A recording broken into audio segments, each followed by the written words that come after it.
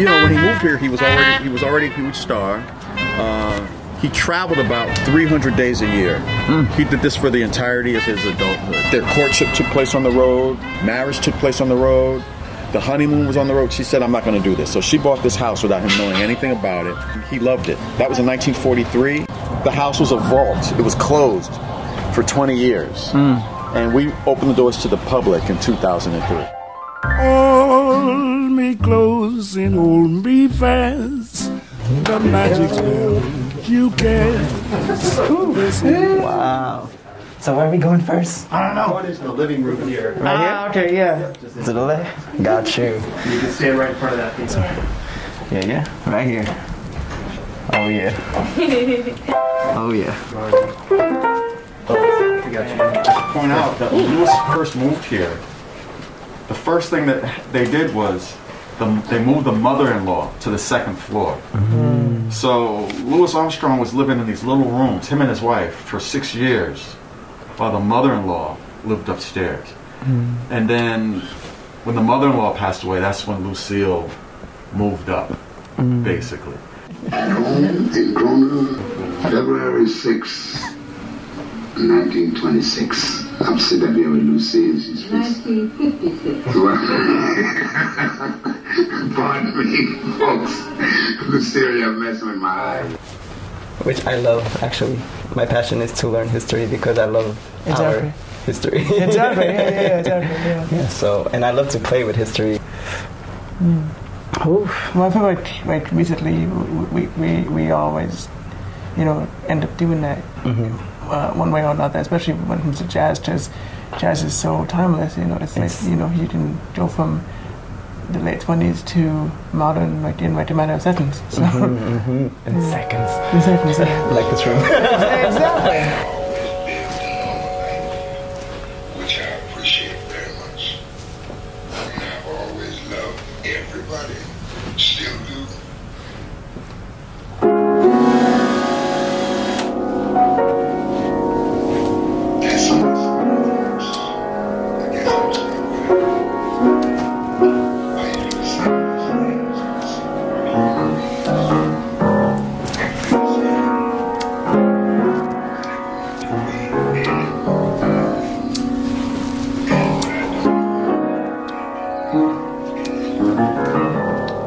Be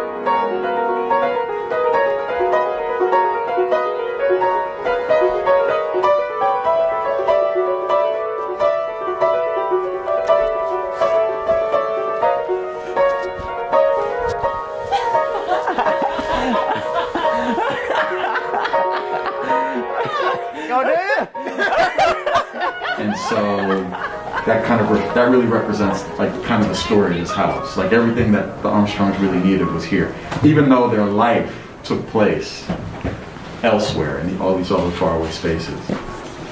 Got some counters here. Piano door hinges and piano lid handles. Can touch it. Mercy? Sure. Yeah. This way? Mm-hmm. This way, and the cabinet, first one. Yeah. And the handle right here. Where? Right Yeah, yeah, that's the one. Can open it, pull.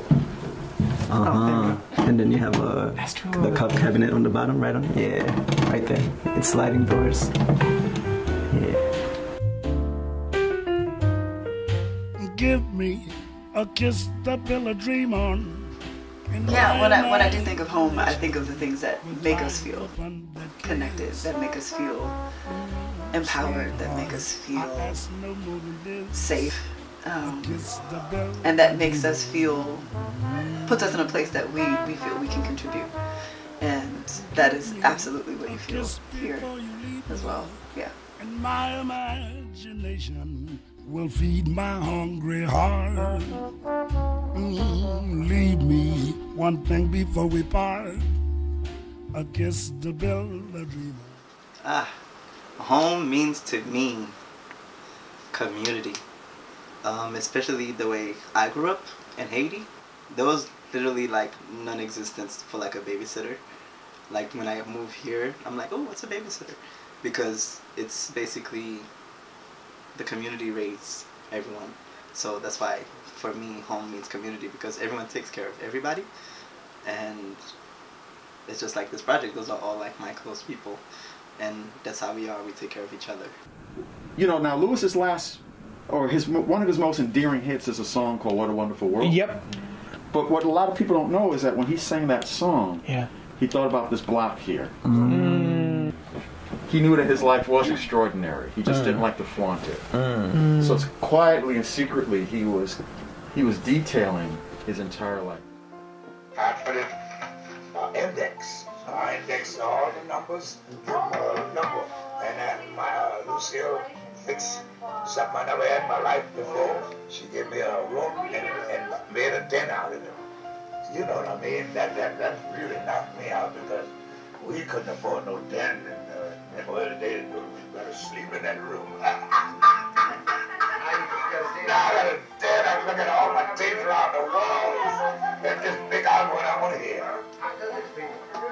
to feel good. I mean, I don't ask much in life. I mean, those are the, the needed things. She know that would be my life in music. So when I can hear every record I ever made, all I to do is look in a little book and put my finger on it. Uh, my interviews, I got them all on tape, and I buy records. That's why I tell you. That's why I tell you, I buy everybody's records. I got the Beatles, I got everybody. And uh, they say, well, what, what you think about the Beatles? I say they're great. They, they, they, they got a little beat there, you know what I mean? That really stuck to me. That phrase. Anything that I didn't Means- have, yeah. I didn't need. Yeah. And being on the road and having this particular home here, and me myself and you yourself, we travel a lot, right? Yeah. But I keep meeting people that are like my peoples here. So it's Yeah. like never actually leaving home per se. You know what I mean? Yeah. And so we keep falling in love with everybody, Yeah. as we should, because we are the same people of Mm-hmm. this. So at the end, no matter where we go, we are home. You know? And we never need more than we think. Sometimes that's what makes the world go a little bit crazy. Because everybody keeps thinking we need more than we have. Exactly. Exactly. Yeah. Yeah. Yeah. But we never do. Yeah. We just we need love. Yeah. Love. And and we and you know we should be grateful. You know. at all times. uh, yeah. Uh huh. Yeah. Yeah. Yeah. I'm thinking like as far as music, like mu- musically, I'm, I'm almost thinking it could be like.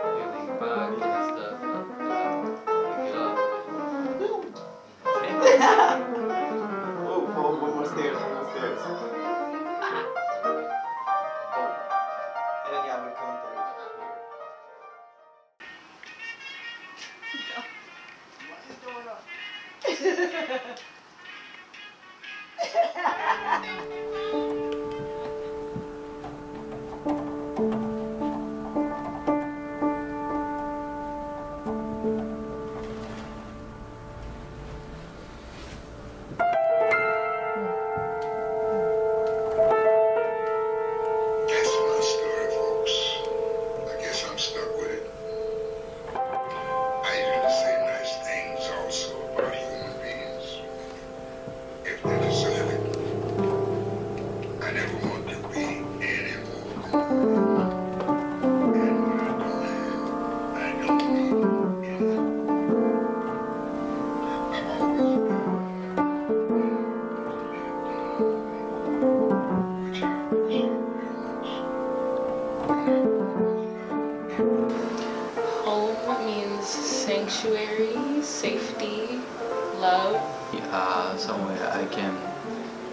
relax, um, completely being myself.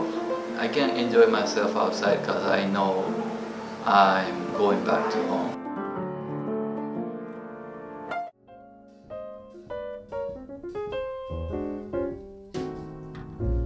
under a blanket of blue. Just you and I beneath the stars, wrapped in the of sweet romance. The night is ours, yes, under a blanket of blue. Let me be thrilled by all your charms. Darling, I know my heart will dance within your arms. Yes, summer night is magic.